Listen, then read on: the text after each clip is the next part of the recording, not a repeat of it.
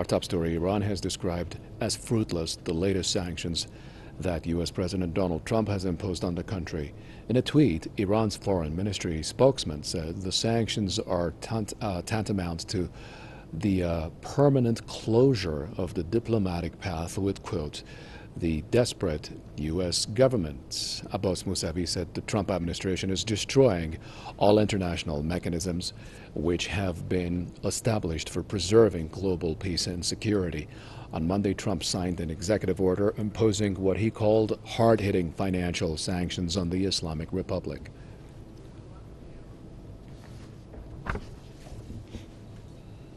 Alexander Azadgan is joining us. He's a professor of international political economy and editor at uh, large with United World International, um, who's joining us uh, out of Irvine via Skype. Thank you very much, Mr. Azadgan, for joining Press TV.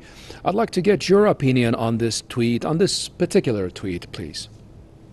Thank you, Mr. Zahedi, for having me.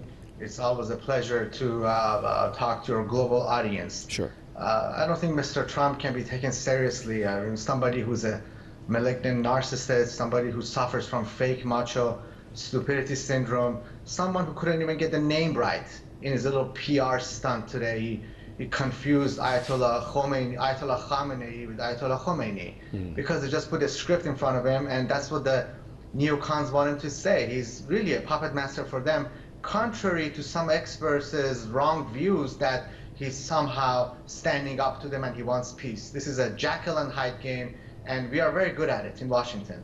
Uh, in my opinion, in my assessment, uh, Bolton and Pompeo are determined, and I'm not an alarmist. My colleagues and I are not alarmists, but we believe that these two, among other neocons in this uh, horrible administration, they are determined to start a conflict, a limited conflict uh, that would possibly cripple very sensitive Iran military sites and other infrastructure installations before quite possibly being defeated by the Democrats in uh, next year in 2020. They're estimating that if they lose and they want to incur as much damage now, that in case they lose, the, the deed has been done.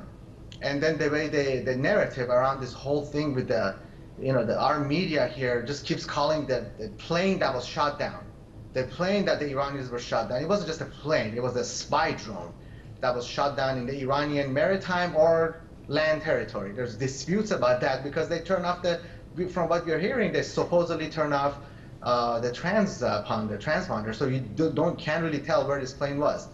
Uh, Iran is in a tough place. I agree with with your story that uh, they they have to shut down any diplomatic channels, but on the same token, that's exactly what the Emiratis, Saudis, and Israelis want. Nevertheless, Iran has been very compliant for the past two years, and it, you know the entire global community was witnessing this. It's not that suddenly there's some uh, uh, you know saber rattling in the in the in the Persian Gulf.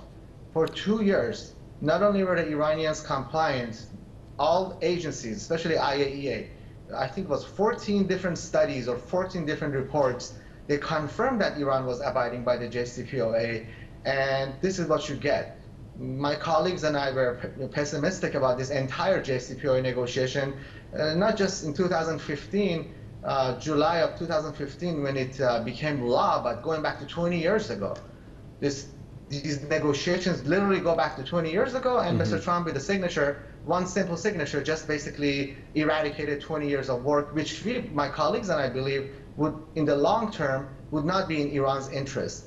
Every time you negotiate from a weak point and your counterparts are bullies, and it's not just uh, Washington, France, I would throw France in the same, uh, same bag, then this is what's going to happen. And they still foolishly think that Iran is going to pay for the same real estate twice that it would renegotiate. There's nothing to renegotiate. Mm-hmm. There's nothing to renegotiate. When they say let's renegotiate, what they're really saying is that let's make sure you don't have any way of defending yourself. And France has made it very clear that, that these so-called negotiations are going to be over Iran's missile deterrent technology.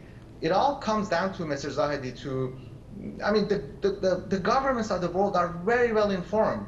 They know exactly what's going on. This you know, malarkey of this supposedly IRGC boat that was next to the Japanese boat that caused this, they were there to inspect it, the damage or remove evidence, is absolute ridiculous. I mean, it's beyond ridiculous. If they can detect uh, this boat next to a huge oil tanker, they sure would have detected this boat, you know, approaching the oil tanker, and they would have satellites on this oil tanker at a point of damage uh, right after it happened or even before it happened. So this is a, the good old Israeli tactic of right. waging war through deception. And uh, it all comes down to, Mr. Zahedi, it all comes down to uh, having access to the U.S. market. Sure. Everybody knows Mr. Trump is acting like a bully. But because they have the bully pulpit, because the U.S. economy and the American purchasing power is uh, unmatched, this is how they bully the nations of the world to be on the bandwagon. And everybody knows this is the biggest hypocrisy. And to anybody who's looking at this only for economic purposes, you're going to be next. Mm-hmm. China, you're going to be next. Russia, you have been next. So, that definitely uh, sends a message. Uh, Professor Azadgan, let's just, uh, if you agree, focus on the tweet a little bit. Uh, of course, you know better than I. I'm just going to refresh uh, the minds of our viewers about the fact that Iran has time and again, basically, there will be no talks except for the ones that uh, were uh, done in 2015 uh, within the framework of the JCPOA. And as long as the U.S. is not returning to the JCPOA, there will be no more talks. That is as far as Iran was concerned. It was the U.S., however, Professor, that was after talks. It's very interesting and puzzling at the same time um, that um, by imposing new sanctions on how can you i mean like you know this is uh, preposterous. How can you make somebody to come to the negotiating table so long as they have actually said that they're not going to talk uh, by imposing more sanctions? And you know uh, how much substance is there uh, basically how much justifiable would you say this is by Iran to say that there will be no talks, even if there was a small window of a chance of a, of a talk with the U.S.? Iran's uh, restraint has been admirable for the past two years since the JCPOA, uh, no more than two years. It's been uh, four years since they right. signed the JCPOA in, exactly. in, July of 2015. And uh, in, you know, in one word to answer your question, Mrs. Zahedi, it's just bullying, mm-hmm. economic, political, geopolitical, and military bullying. And they uh, put this phrase, obviously they're not going to use the word bullying, but they put it into this neuro-linguistic programming phrase that all options are on the table. Right. This is how they've always negotiated, even under Mr. Obama. Mr. Obama is on record during the JCPOA and afterwards that look, what we got out of this is we know exactly where the sensitive sites are in case we need to bomb it later. This is Mr. Obama, the, the so-called winner of the Nobel Prize, which was a sham altogether.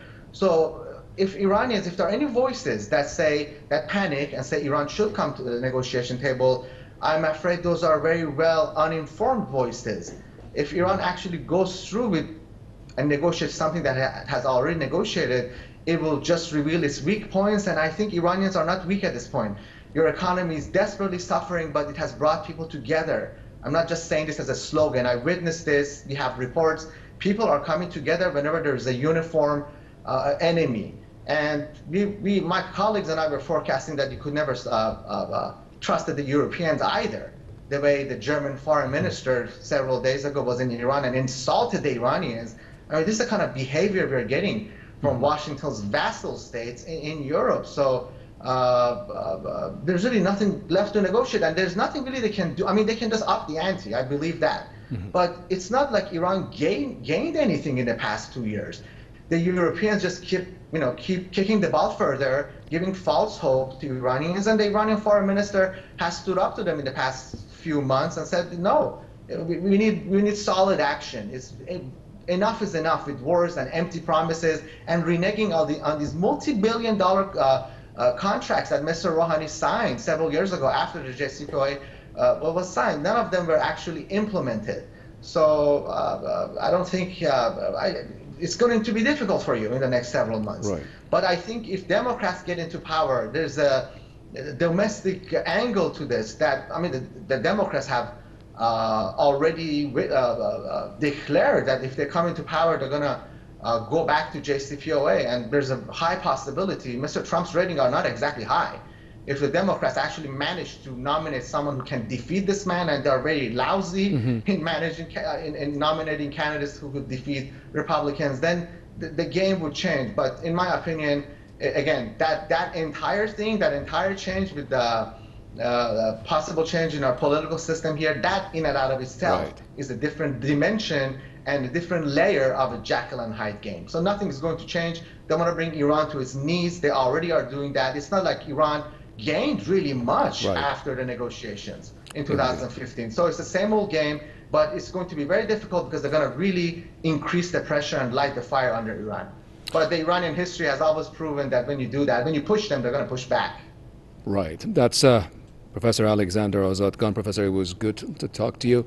As always, uh, you have a good night in Irvine, sir. Thank you. You too.